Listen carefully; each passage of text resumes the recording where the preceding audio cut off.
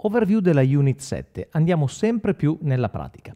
Allora, prima di tutto ipotizzeremo che la nostra batteria guida diventi la batteria definitiva. Ok? Il nostro batterista, il nostro amico batterista non ha tempo di venire e quindi cosa faremo? Ottimizzeremo eh, l'esecuzione della batteria registrata che ho suonato io, ti ho fatto vedere come l'ho eseguita, la faremo diventare quella definitiva e la esporteremo su tracce separate. Questo ci diventerà eh, un punto eh, di partenza per usare i plugin, io l'ho chiamato così on the road, ok? Quindi vuol dire che ogni volta che acquisiremo del nuovo audio, immediatamente lo processeremo con dei plugin e ogni volta che applicheremo dei plugin, saranno plugin che ti ho già spiegato teoricamente come funzionano e li vedremo messi in pratica. Quindi eh, faremo pulizia con le Q sulla batteria.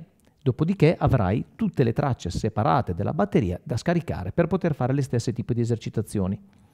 E ecco, su questa batteria lavoreremo anche sul gate e sul compressore, cioè vedremo come pulire alcune tracce, per esempio. Ricordati sempre, non, non, non guarderemo all'aspetto estetico, cioè del fatto se vada fatto o non vada fatto, sarà si può fare così, poi sarai tu, con la tua esperienza, con la tua sensibilità artistica, a decidere quando il genere preveda su quel suono di utilizzare un plugin oppure no.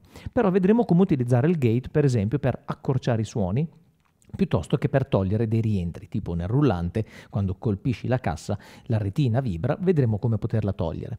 Quindi utilizzeremo il compressore in modo diverso, non solo per limitare l'escursione dinamica, ma anche per dare punch, ok? Per dare un pochino più attacco alla cassa, un pochino di attacco al rullante, quello che viene chiamato snap, cioè quando la compressione lascia un tempo di attacco tale che le, invece che comprimere la dinamica e abbassarlo, gli lascia eh, l'attacco intatto e gli dà più botta, appunto quello che viene chiamata snap.